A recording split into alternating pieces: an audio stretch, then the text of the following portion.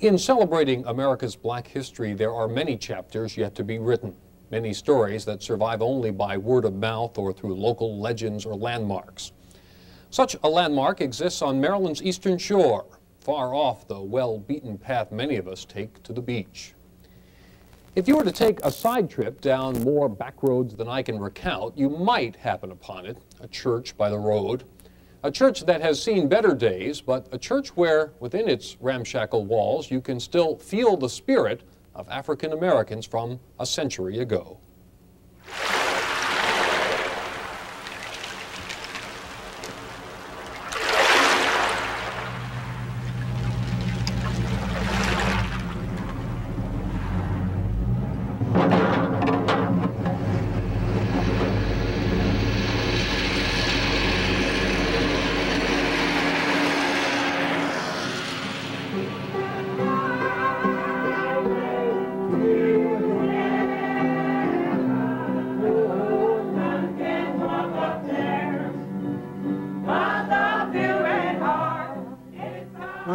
Lonnie says, I'm sometimes up and I'm sometimes down.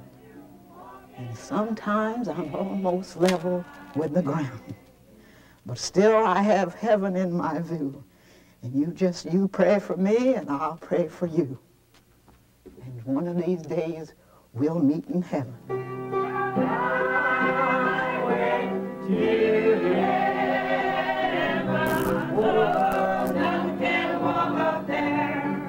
Was built in 1885, this church by the road, built by the black farmers and watermen who lived here in Oriole on Maryland's eastern shore. Built to last by Margaret Johnson's ancestors. To me, it was my life. This is where I um, grew up, became educated, um, religious beliefs, and, and uh, from there I learned most everything I've learned during my life. I learned St. James Church. And I can see the Uncle John, Henry Selby, and Aunt Martha, and they all sit right over there. St. James the Apostle was a fisher of men.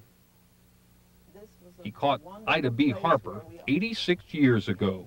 I just see them sitting all around and where they sit.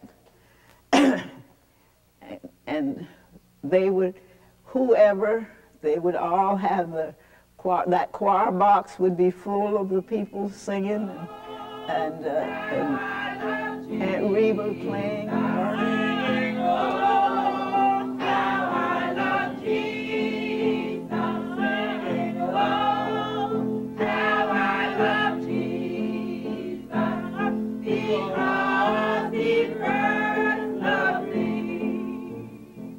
Don't know. They all sound so good to me because I was a child. I just thought they just sound like that we're all going to heaven and right now. It was a source of, a source of inspiration. You know, you have putting in long hours of work out on the, on the on the Chesapeake Bay, and you don't know whether you're going to have a nor'easter blow in and drive you out into to the heart of the Chesapeake, and you don't know whether that you go out today, whether you're going to come back tomorrow. You needed a, a refuge, and St. James provided that refuge. Sammy Thomas has documented the town's past and its family trees. Trees that grew from one free woman of color, Leah Shelton, born 1794, a single head of household who owned land. Well, if this lady can live in the midst of slavery, if she can live at a time when her immediate freedoms can be taken from her, I'm saying, well, why can't we do better in our present time? What is it that she, that, that, that, that gave her strength to, to overcome that we're not doing? And I think that one of the things that, which is represented by this church is that she had an, an unbending faith. Oh, so many of them are gone on. Gone on. Thank God I'm yet on the way. Jesus said, repent, repent, repent, repent, repent, repent, repent. It's something about that word repent that man should fall on his knees. It died in 1965, this church by the road. There was mourning, all right. I could have died with it. I didn't go to another church for years. It, I just just couldn't bear. I went to another church because they had closed our church.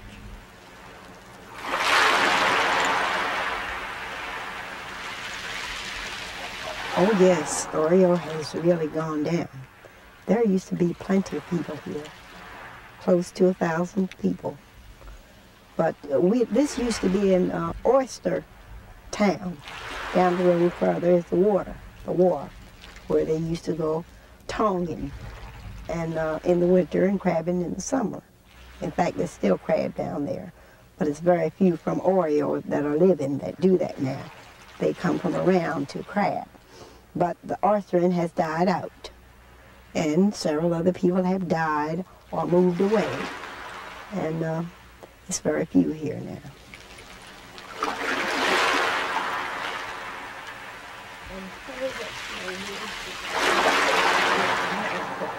Because truly, if when this church is restored, it will be a miracle. And it's only through you, God, that we're trusting you from the I thought to myself, oh Lord, if I could just hit the lottery, I would have that church restored. And nobody would have to ask about it. I'd have it restored. But I don't play the lottery, and you can't win if you don't play.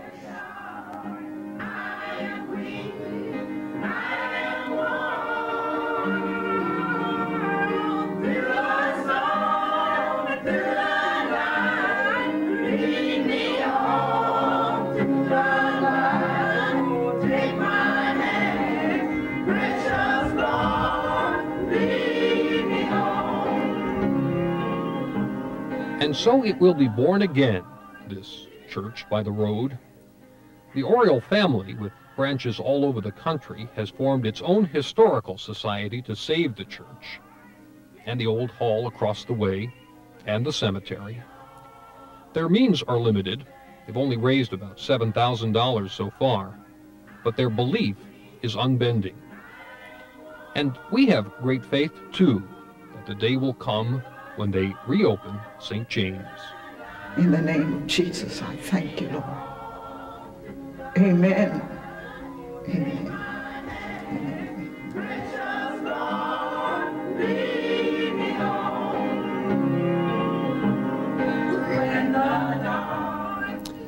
Just ahead on Capital Edition, Vic Sussman takes you on a guided tour of your childhood and Carl Rowan has some stories to tell from his revealing new best-selling book, Breaking Barriers. Stay with us.